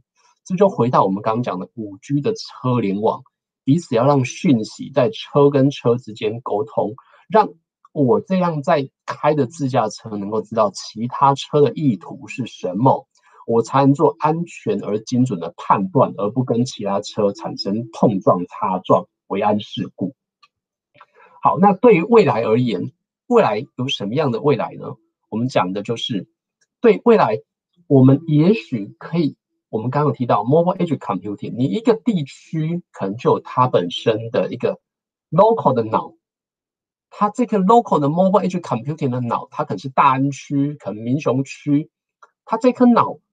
可以去知道附近那些车辆他们的判断、他们的决策，然后进入这颗脑再去跟这些车说：“哎，下指令，你这些车应该要直走、左转、右转，而不是只是靠单独一辆车的各自决策。各自的决策可能会产生一些危险、一些危安。如果我们有一个透过整个局部的 total 的。”控制 total 的决策，那这样出来的判断会更加的精准。每一辆车把资讯汇给我们这个 mobile edge computing 的的基地台的判断核心，那由它去对每一辆自驾车去对操控。那其实欧盟它在几年前就有提出一个叫 cooperative ITS CITS 的计划，那只是他们二零一九年就停掉了。那为什么停掉啊？因为这个计划当年走太前面的技术还没跟上。那但它是一个有可能的未来。好，那接下来我们来看一段这个台中市他们之前的自驾车的形象影片。当然，形象影片就仅次于形象了。哈，我们来看一下哦。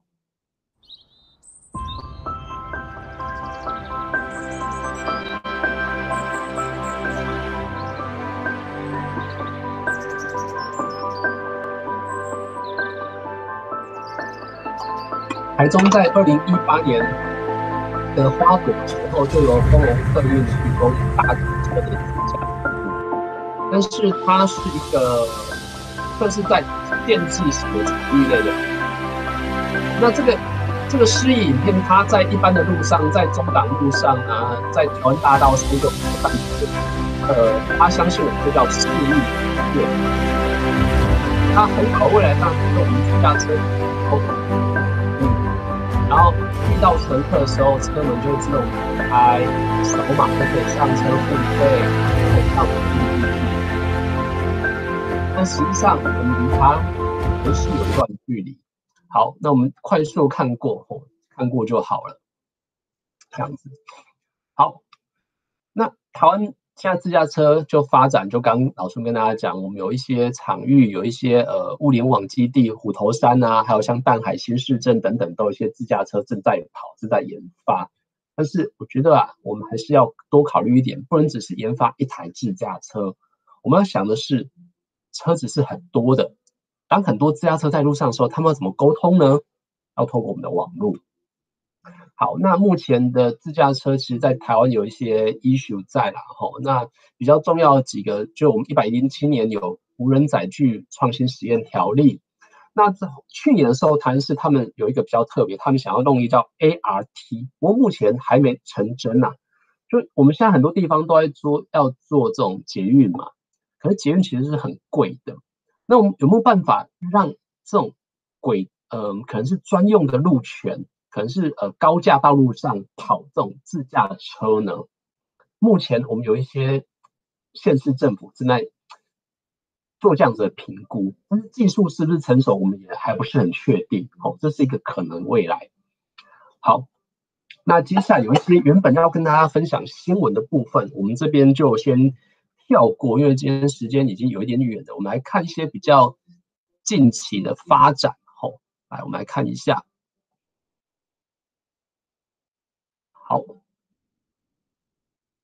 那接下来这边要讲的，我们来看几段影片，就是韩国他们对于最近五 G 的呃影片，我们看一下旁边这一段。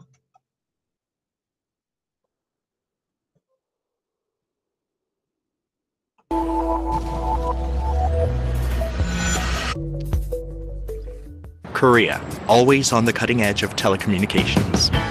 And who's always at the forefront? Samsung. With industry leading mobile technologies and key partnerships with Korean carriers, Samsung is ahead of the game, bringing commercial 5G to life before the rest. From seven cities in December 2018 to major regions of 85 cities nationwide, Korea is now a 5G mecca. Supporting 4G and 5G NSA mode, Samsung's virtualized 5G core solutions are in play on all three carriers. Samsung incorporates key 5G network technologies that give partners the speed to expand their network and provide new services, such as control and user plane separation. The jump to SA mode is a simple software upgrade away. Samsung's 5G equipment is also the industry's most compact and lightweight, making it easy to install onto existing sites. Thanks to Samsung 5G tech, our partners are up and running faster, establishing tens of thousands of wireless 5G connections. And now, with the world's number one 5G smartphone, our vision has come to life. Real time sports anytime you want it, no matter where you are. Zoom in, zoom out, jog back and forth. Because super low latency means zero lag. Music. VR. AR.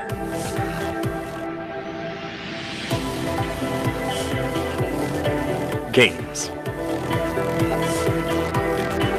5G powers it all with ease. From super bandwidth heavy VR art galleries and tours to long distance full HD group video calls.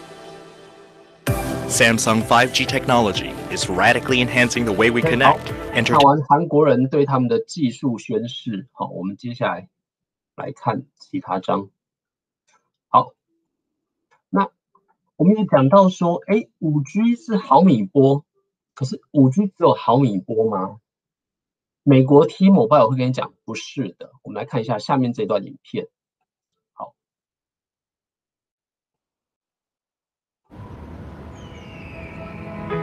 600 will be a major 这 difference 是 in 一 rural 个 areas. 在六百 megahertz， The coverage is going to drastically increase. 它在低频 And slowly but 也 surely, 是 it's 可以 just going to 使 get 用 more and more robust. 五 G 的服务的， 或者是说五 G Five years 也可以 ago, 在 the 低频 perception 去 was 提供服 we 务 were just an urban carrier. The 大家知 reality 道美 was 国地大物 we actually had a pretty 那 big 在制作路径 nationwide 山脉很多 network, 地 but 方 our coverage 没 from 办 those 法 towers just didn't go as 用 far as 一 people 般 wanted. 的一公里的基塔去覆盖呀、那这种特别低频，So in 六百 2017, 兆赫 a 这种 new spectrum auction was proposed by the Okay. FCC, 距离可以 and 传 we 到 won 十、十 40%, 五 which is a 甚至二十 massive 公里之 win. 远。I don't think the other carriers realized how spectacular it was going to be and what a game changer it is. And the best part is when we're rolling out 600, we're already prepared for 5G. 600 megahertz is physically different. Its characteristics allows us to go farther, penetrate better, and really increase the level of service that we offer it goes a very, very long way, farther than any of the spectrum that we've used in the past. 600 megahertz had never been used by a wireless operator in the world. It was a new 那所以 wireless 今天要 spectrum 跟大 band. 家说的是，五 G 不是只有在 millimeter wave，五 G 其实在低频 There was a 也有 lot 它 of 可以达 challenges 到 when 的 we 服 first 务。started 600. One of our main problems were the availability of the hardware. They had to develop new software, new hardware, new features so that 因为 we 这 could 个影 then go 片 and 还蛮 deploy it. 蛮令人觉得 crazy。 Back in the day, all the radios were down on the ground, and now the majority of them are up on the structure right next to the antenna. It's a bit of an orchestra because you have to coordinate thousands of sites across the country. 600 megahertz antennas are bigger, so that brings a multitude of challenges when climbing, when installing, when rigging. It's amazing at the amount of people that go in to keep the 600 network up and running. We're monitoring the network on a 24 by 7 basis to make sure that our customers do have that great experience.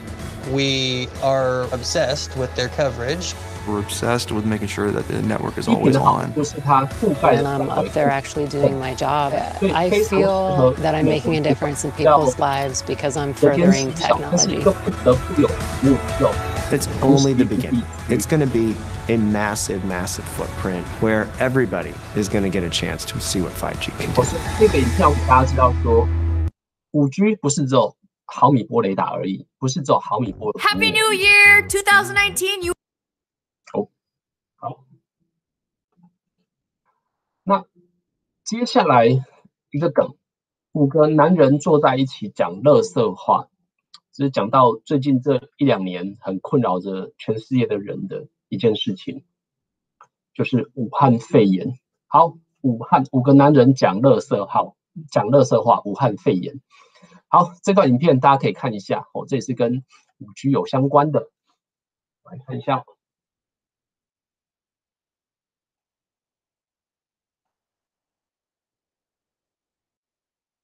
大家好，这里是武汉市青山区吉林街上的京东仁和网点。在我身后呢，大家可以看到一辆白色的小车，工作人员称为无人配送车。据了解呢，其实它就是一款无人配送机器人。在此次武汉新冠肺炎发生以来，这辆无人配送车起到了举足轻重的作用。那么接下来，我们请这里的负责人给我们介绍一下这辆无人配送车是如何发挥它的作用的。它这一块的话是，呃。采用自动驾驶的模式进行一个配送。首先呢，我们这一块先把我们要配送的订单装到我们这个二十四个货箱里面，根据它的一个合理的尺寸先装箱。装箱之后，然后我们在上面设定线路，添加这个运单号，运单号可以自动识别它要停靠的站点，这边就可以根据我们设好的目的站去去往它要去的目的站点。就是它这个线路啊是怎么设置的呢？线路的话，根据我们目前，呃，它这一块主要是服务于我们旁边的一个九医院，因为它是我们新冠肺炎这一块感染的病毒的一个定点的治疗医院。它这一块的医院的话，目前的话，外部车辆是不让进去的，所以说它这一块的配送，为了避免这种感染的风险，所以说我们采用这种无人车的配送，基本上避免了这种一个接触人与人之间的一个接触，从而来减少这种感染的风险。好，接下来我们就跟随这辆无人配送车，看看它是如何完成配送的。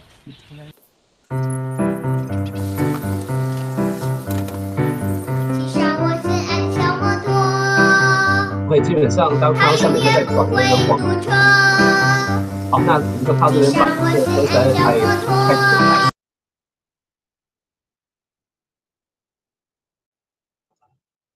好，那就是刚刚的影片。那接下来我们来看未来五 G 的发展跟产业创新。那这个图是我们刚刚看到的，一开始看到说，好，五 G 有一些应用，好，那它有几个主要的 user scenario。好，那这个是呃 Ericsson 给我们的图。那我们要很明确的说，把某一个应用放在它到底是属于呃 URLC、ENBB 或是 MMTC 吼，到底是哪样子的应用范围之内。好，那我们来看一下这个。我们讲物联网好了，物联网有些东西是五 G 才做得到的，可是有一些东西不一定要五 G 就做得到。那譬如什么呢？以左边这个例子而言，那些比较传统的 massive IoT 的部分，就是说像智慧大楼啊，比如说温控感测这一些，就是说智慧物流、智慧仓储这一些，或者说一些比较像智慧农业、智慧电表，他们其实不用到五 G 的物联网，其实他们就可以做的蛮不错了。只是可能他们还比较耗，是耗电一点没错。那哪一些是一定非得要五 G 的物联网才做到呢？我们讲，比如说远端的医疗，比如说自驾车的部分，好、哦，以及譬如说像这个工业自动化，你如果说没有在千分之一秒一个 millisecond 的反应，你可能就会把车床车坏掉。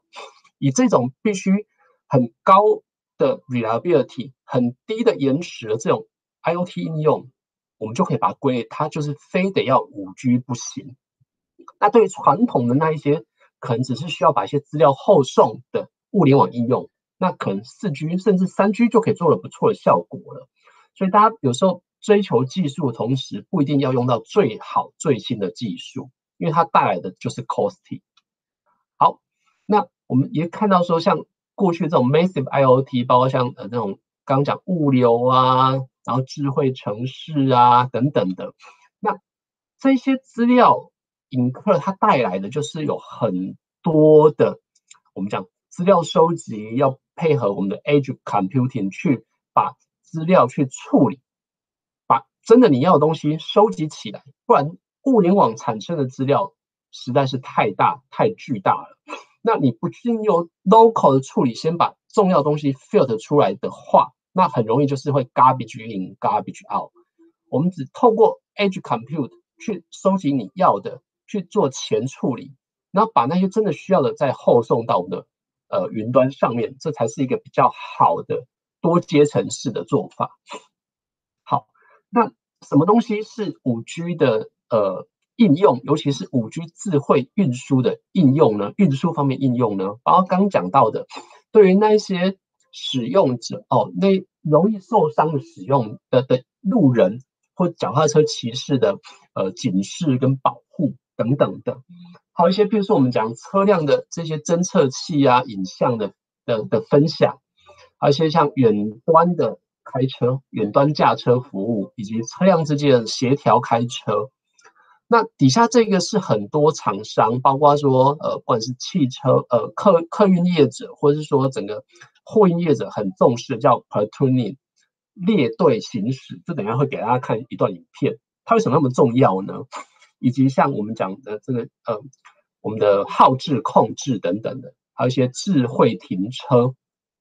好，那我们看一下下一下一页，嗯，有一些应用，传统上的应用，智慧运输的应用，其实在四 G、三 G 就就做的不错。比如说我们讲那些我们要去找停车位啊，或者说停车桩要要要充电的充电桩等等的。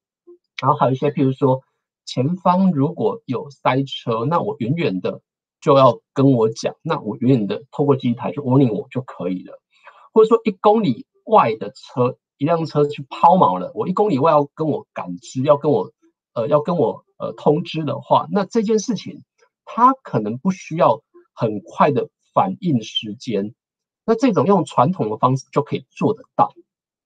可是对于某一些应用，譬如说我们讲我们要超车，这种可能在几秒内就要应付得了的，或者说我们在路口紧急路口，然后救护车要过来了，这种很。emergency 很及时的，或者是或者像如果说我们在一个盲弯，然后前面几十公尺就有一辆车突然抛锚的这种这种状况，它可能就需要说你五 G 的车联网去对于这些使用者，对于车辆去对它呃预警告知哦，所以我们要去分别说哪一些应用是五 G 非得要它不可。有哪一些是可能在四 G 就可以做的不错应用？好，那五 G 车联协会哦，它也有定义一些欧洲，它有定义一些应用情景，那我们可以快速的看过哦，包括说像比如说你车辆啊，你在路上你要自驾车，你要让它自动进入这个干线的时候可以汇集等等的，好像譬如说我在路上啊要去判断人行人要过马路，这刚刚提提提过。好像前车的影像去分享，好像远端驾车、远端开车，这也是蛮特别的一个应用。好，好，那车辆的跟对跟车，刚刚老宋跟大家提到，这在货运业者它是一个蛮重要的应用。那像在新加坡、像在美国，他们这几年发展的蛮多的呃呃的资源，投蛮大笔钱去。对这种车辆自动跟车做一些研发，那重点是这种车辆自动跟车，它并不是自驾车，通常它第一辆车是人驾车，第一辆车是有人在开的哦。可能第一辆车有人在开，后面的车让它自动跟车。对于像美国这种很常有跨跨州的呃这种大货车在跨州在开的时候，你只要让第一辆车有人开就好了，那后面的车让它自动跟车，那这时候你整个车队的运输成本就会低很多。那我们看一下后面这段影片。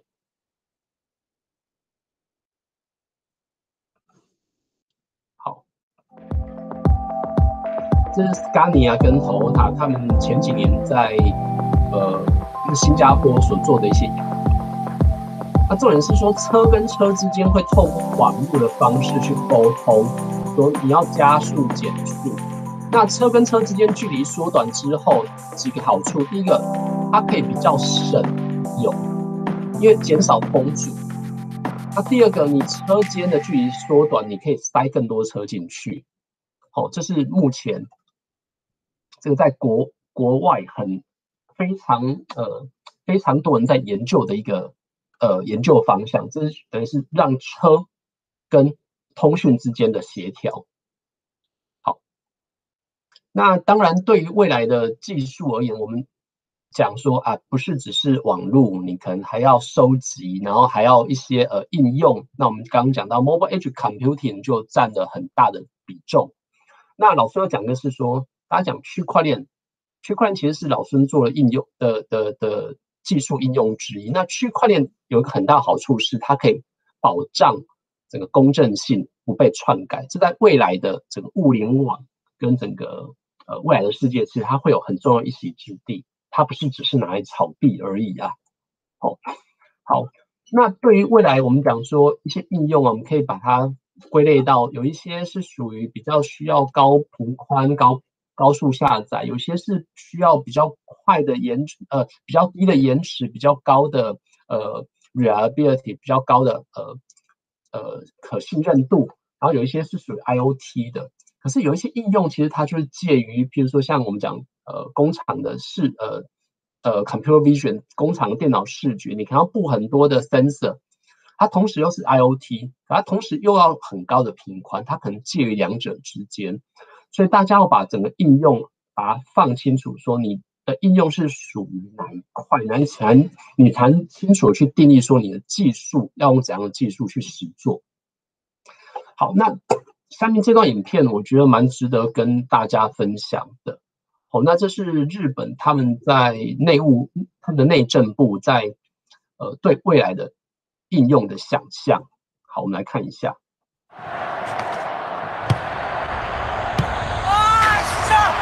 日本的内政部对五 G 的世界的向往嘛。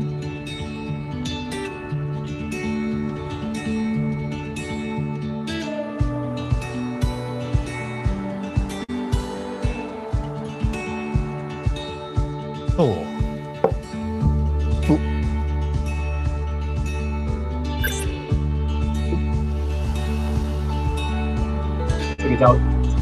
远端智慧农业自动喷药，它可以只要在家里就可以在自己的果园喷药了。はい、楽にしてください。然后再是远端良くなると思いますので安心してください。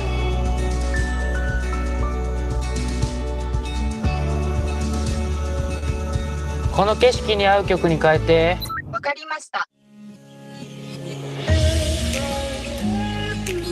呃，自驾车，然后还有这个老老商店里面是无人商店，然后这年轻人进去就东摸摸西摸摸，把一些东西放进口袋里面。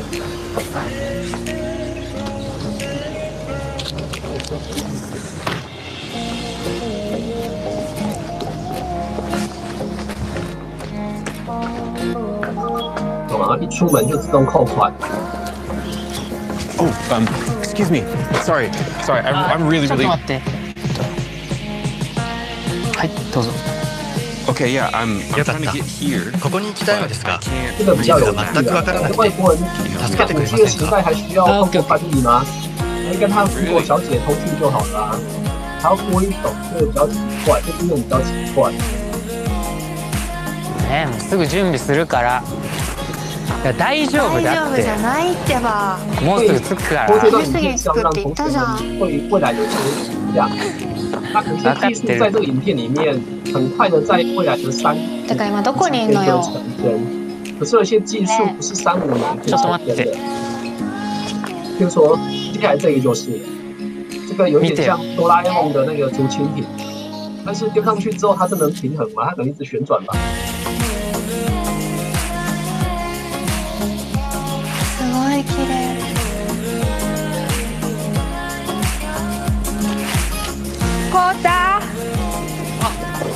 ばあちゃ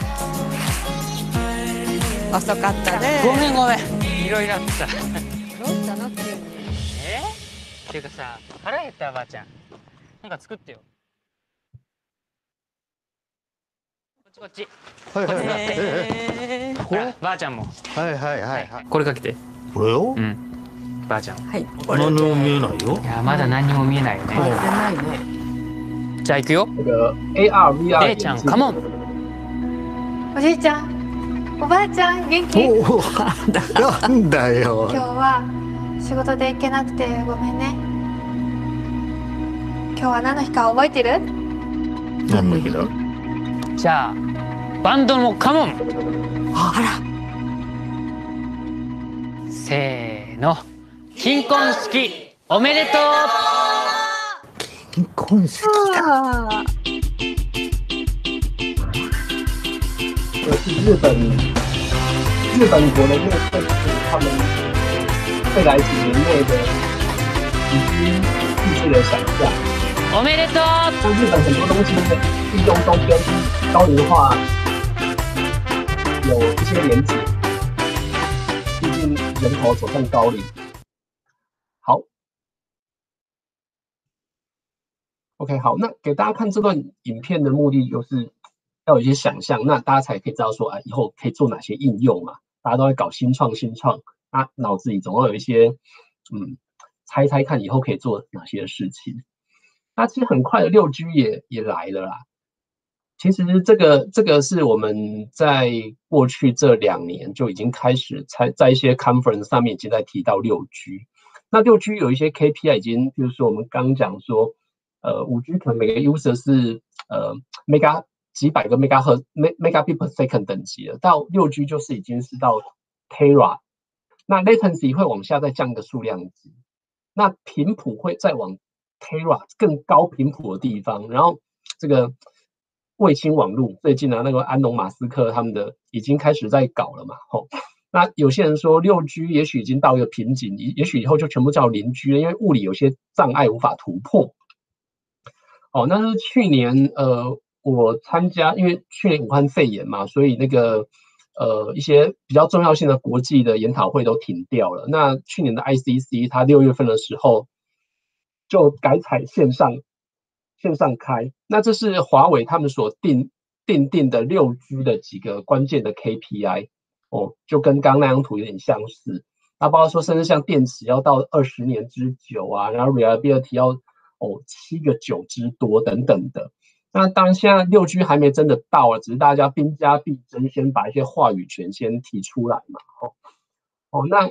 很妙是我们刚刚讲五 G 是 eMBB、URLC、MMTC，那他们开始在讲说，那到六 G 的时代，啊名称怎么取啊？那我觉得他蛮厉害的，像四 G 的宽频叫 NBB，到五 G 加个 E 叫 eMBB。好，那到六 G 呢，这个 eMBB 加加加加个 F 叫 Further，F eMBB。那原本的 URLC 就加个 E 嘛。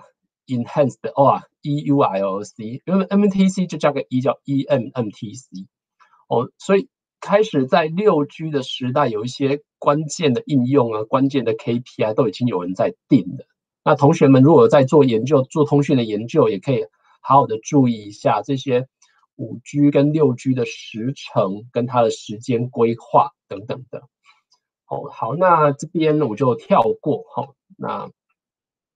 就是我们刚刚讲了一些技术，那今天因为今天时间的限制，其实也没有讲得很好。然后呃，老师也用呃 Google Meet 线上先录影的方式，然后在几个投影片跟影片之间交错，其实可能同学们有点会有点混乱，这边实实际上会有点差差别啦。但同学们可能还是要想一想，说我们有这么多技术，让人的上网网络更加的快速、更加的便利。可是啊，人总是贪婪的，人是非常贪婪的。哦，那这本书有一本书叫《History of Greed》。哦，人 human being are greedy，人是非常贪婪的。唯一不变的就是 supply cannot meet demand，就是供给永远跟不上需求。所以我们最重要的是我们要克制自己的欲望。哦，就是网络再快，你都会把它跟到爆，你就把它跟到塞车。五 G 再怎么快，有一天五 G 还是会爆，像我们现在四 G 很常爆掉一样。好，所以我们要克制我们的欲望。好，那花了快两个小时跟大家讲这么多，那我们要讲到底什么是五 G 呢？其实，Nokia 在很久以前啊，一九九七年的时候，它有个 slogan 叫做 Connecting People。好，我们来看一下这个图。等一下，这个图我这边哦，当年 Nokia 叫 Connecting People。那当年的 slogan 叫“科技始终来自于人性”。那对于五 G，其实它不是只是 connecting people 而已，它有更快、更多、更广的 connection，而且它把什么东西都 connect 起来的。